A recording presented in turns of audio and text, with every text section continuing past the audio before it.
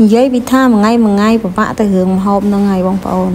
មិនដឹងស្លោអីទេគិតចុះគិតឡើងស្លក់គិតចុះគិតឡើងប្រហាលស្លោដែរដែរហើយអាងអីអាងដើរបេះបន្លាយជុំវិញផ្ទះហ្នឹងហើយបងប្អូន នៅតាមស្រុកស្រែជនបទមិនខ្វះទេបន្លាយជុំវិញផ្ទះបងប្អូនមិនបាច់ពិបាកដើរទិញគេទេក្រោយផ្ទះខ្ញុំនេះមានស្អំ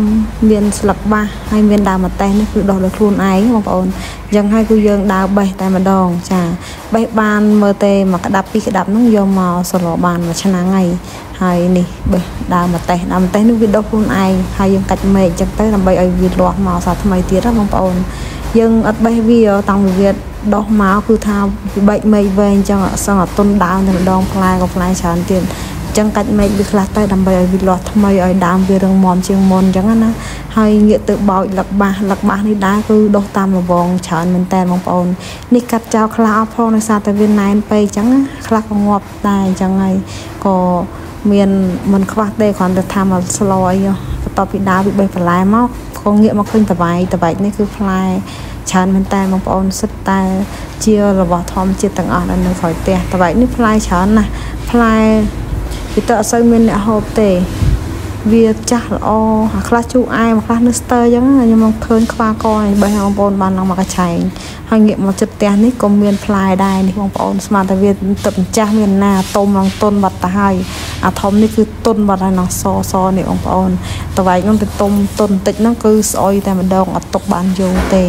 នេះបងប្អូនច្រើនណាស់បុកអំបិលម្ទេសមកគឺថាឆ្ងាញ់ហ្មងជូរអែមជូរអែមអញ្ចឹងណាហើយងាកមកមើលម្ហូបរបស់យើងវិញដល់ផ្សំបន្លែរួចរាល់ហើយខ្ញុំក៏មានត្រីឆ្លាំងប្រឡាក់នេះជាមួយនឹង ខ្នោដែលយើងបាសចិត្តហើយហើយនៅបន្លែនេះមានច្រើនមុខដែរបងប្អូន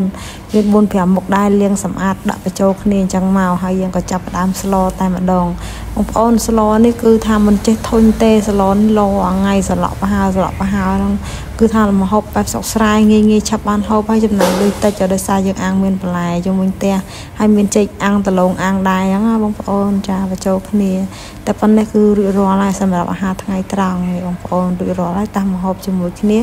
មករបស់ខ្ញុំអត់មានសំញ៉ាំអីច្រើនទេហូបម្នាក់ឯងគឺធ្វើបែបនេះចំពោះកូនកូនខ្ញុំវិញហ្នឹងគឺគាត់ក៏ហូបដែរតែគាត់ហូបរួចរាល់ហើយអញ្ចឹងក៏អត់ដល់ម៉ោងហូបទៀតទេចំពោះខ្ញុំស្លោហើយដល់ម៉ោងហូបគឺហូបតែម្ដងម្នាក់ឯងក៏ហូបដែរអញ្ចឹងណាបងប្អូនដោយសារតែយើងរវល់ការងាររៀងៗខ្លួនអញ្ចឹងហើយអ្នកណាឃ្លានហូបមុនអ្នកណា